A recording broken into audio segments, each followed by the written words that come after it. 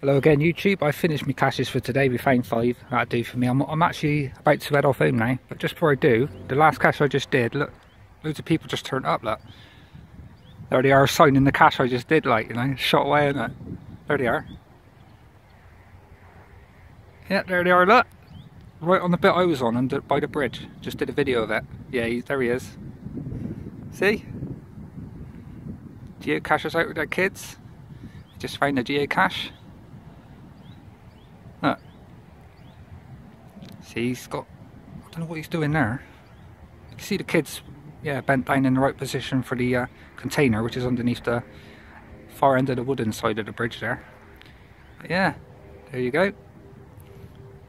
Lots of geocaching today there. Excellent stuff. You're on film and you're going on YouTube there. Ah.